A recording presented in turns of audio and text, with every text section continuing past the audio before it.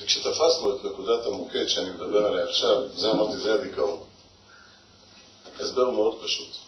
אחרי כמה שיחות מעמיקות, בעיקר אלה שאחרי שלוש-ארבע שנים עדיין נראים שלווים, לפי מה שדעת אדם מנוסה יכולה להכיר, בשיחות איתם פתאום עלתה הסיבה. תבינו שילד מקיים מצוות. כשהוא עושה את זה טוב, כמעט אף פעם לא מודדים אותו. לא אומרים לו מילה טובה. הזמן היחיד שנזכרים להעיר לילד זה כשהוא מברך לא טוב, כשהוא מתפלל לא טוב, נוצר אצלו בנפש דבר מוזר. כשהוא מקיים מצווה, יש לו הרגשה של עבירה. הוא מבין בשכל שזה לא הגיוני, זה אבסורדי, אבל ברגש ככה זה מתחבר. ילד עומד ומתפלל, תחשבי על עצמך, תחשבו על עצמכם כמה פעמים קורה שאתם מתפללות ויוצאות בהרגשה טובה, וואי, התפללתי, אל תענו לי. אני יודע שגם זה זדיקות מסתרות, אני מדבר על המון העם הפשוט. רוב האנשים, התחלנו לראיין, בחורים, בחורים גם, נשים מתפללים בנות סתם. התפללת היום, איך הרגשת אחרי זה? לא כיוונתי בשם השם. זה לא תפילה מהלב. זה, זה דבר מטורף. הבת ברכה על התפוח, קיימה מצווה. מה ההרגשה שנשארת לה אחר כך? הביקורת. תפקידה של הביקורת זה להתעלם מכל הדבר החיובי, לתפוס את האחוז הלא חיובי ולהתמקד בו. התחלנו לגדל אנשים שמקיימים מצוות עם הרגשה של עבירות. אם לא יכולה לצאת מתפילה עם הרגשה של סיפוק וזירה, זו הרגשה בסיסית. אפילו אם יש ביקורת שהתפילה לא שלמה, אבל זה מטורף. קודם כל היא קיימה מצווה. קודם כל היא קיימה מצווה. אחרי שאדם יש לו סיפוק ממה שהרוויח, אז יכול להיות שביקורת, רק ביקורת כזו של חבל, יכולתי להרוויח יותר, היא יכולה להועיל. אם לא, זה עכשיו. מה שקורה להם שכשהם מתרחקים מתורה ומצוות, אין להם פתאום מזכרת עבור. פשוט שכחו מזה. אחד אמר לי זה מפורש, אני אספר לכם את הסיפור.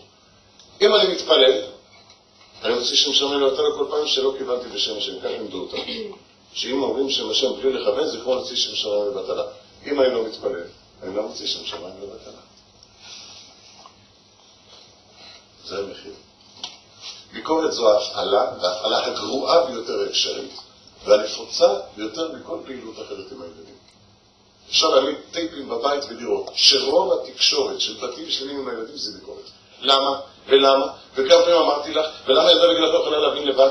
למה זה המילה הכי נפוצה? או לפעמים יש אמהות עם, עם אוריינטציה חינוכית יותר עמוקה, ככה מתנהגת בת שהולכת לבית יעקב, בשביל זה שלחת אותך לישיבה.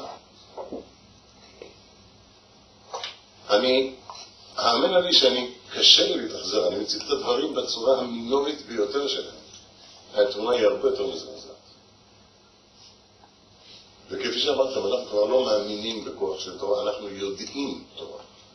כשאנחנו רואים בישיבות בחורים שעברו כזו ילדות, ופתאום לבד נמשכים אל התורה ומתפתחים ועולים, אפילו מילה נס לא מגדירה את זה.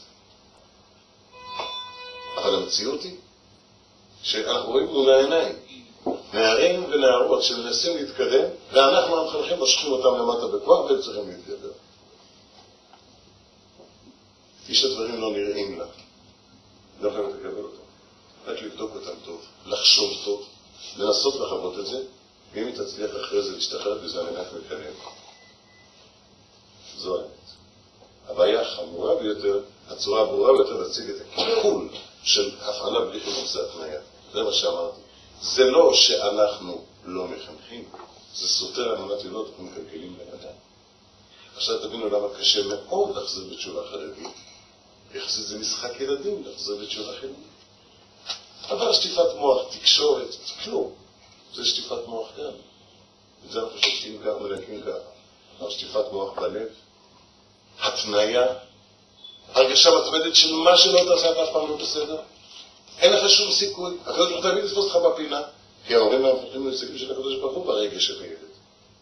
מה שלא תעשה זה לא בסדר. מצוין זה אפילו לא מספיק בקושי. כל מצווה, במקום שתביא סיפוק ושמחה, שתהיה מצווה גוררת מצווה, יוצאת הרגשה של הדבר. הרבה מדברים על המעלה של חינוך, על הגדלות של חינוך, וזו המצווה הכי גדולה בעבודת השם אחרי לימוד תורה בעצמו, לימודי תורה אמיתיים. אבל צריך להבין שכל מטבע יש לשני צדדים.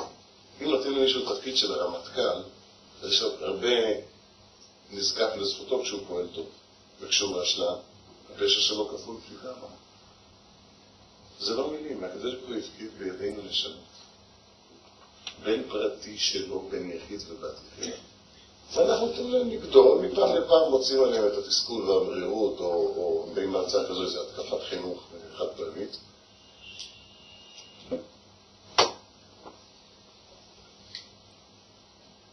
מסקנה מעשית צריכה להיות שאסור לי לפעול, אלא אם כן מראש מחליט שאני כאן. בפרט אם זה דבר שחוזר לעצמו. אם את תוציאה פעם מהפה שלך את המשפט, כבר אלף פעם אמרתי לך, אז תעצרי ותביני שאת אומרת כבר אלף פעם הזקתי לך. מה פה שאלף פעם אמרתי לך? זאת אומרת שכל פעם את רבה איתה על הנושא, או שתעזבי את הנושא, או שתמצאי דרך לחנך אותה. את לא יכולה תעזבי אותה. הבעיה כפולה ומכופלת בסגירות בתי הספר שהן בעצם טיבן בנויות ככה, והילדים נמצאים הרבה בבית הספר. אבל זה נושא שעוד אני אחליט לעסוק בו בהרחבה, אני קצת... אה, יודע שאני יודע, אז אתם מוקשים בזה, ואני לא, לא, לא פוחד, אני כבר מפוצץ קולי, אבל אה, אני צריך לדעת אם יש סיכוי שישמעו לי. הבעיה שלנו היום זה לא הזנחת החינוך, ולא חסר ידע בחינוך, זה מערכת קבועה ויציבה של אנטי-חינוך, של הרחקה בידיים, של פלפול בידיים. זה כשפועלים עם ילדים כמו פרודוקט בבית חרושת, רוצים התנהגות מעשית, בלי שום דבר מעבר לזה.